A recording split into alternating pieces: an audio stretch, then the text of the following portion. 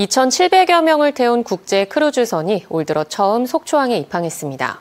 지난해 크루즈 관광이 재개되면서 시장이 빠르게 회복하고 있는데요. 속초항 유치 확대를 위한 속초시의 활성화 전략이 중요해지고 있습니다. 박은지 기자가 보도합니다.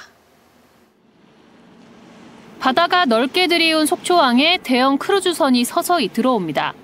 미국 홀랜드 아메리카 선사가 소유한 8만 2천 톤급 웨스테르담호인데 지난해 10월 첫 방문 이후 6개월 만에 승객과 승무원 등 2,700여 명을 태우고 속초를 다시 찾았습니다. 부둣가에선 흥겨운 환영 행사가 펼쳐지고 승객들이 차례로 배에서 내리면 본격적으로 기항지 관광이 시작됩니다. 평균 대여섯 시간 정도였던 지난해보다는 체류 시간이 조금 늘어 이번엔 하루 종일 속초와 주변 관광지를 돌아볼 수 있는 일정입니다. This is my first time. It's it's a it's a nice uh, little small town like a resort, but it's beautiful because I, I love the uh, water and I love this market.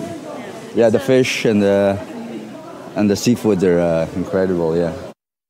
지난해 5항차 만 천여 명이 속초항을 방문했는데 올해도 크루즈를 세 차례 더 맞이합니다. 올해 속초항에는 웨스테르담호를 포함해 모두 4차례 국제 크루즈선이 입항할 계획입니다. 그러나 아직 속초항 크루즈 활성화는 갈 길이 먼 상황입니다. 속초를 포함해 부산, 제주, 인천, 여수까지 전국 5대 기항지에 포함되는데 지난해 총 실적 204항차, 방한 인원 27만 4천여 명을 고려하면 속초항의 비중은 4%에 불과합니다. 조금 한 2%? 그렇게 밖에 안 다녀. 많이는 왔어, 막 우르르 왔다 우르르 가고 이렇게는 안 하는 것 같아. 후발 주자로서 낮은 인지도를 극복하기 위해 강원도와 속초시는 선사 관계자 등을 초청한 팸 투어와 국내외 홍보 박람회 참여, 크루즈 체험단 운영 등에 나서고 있습니다.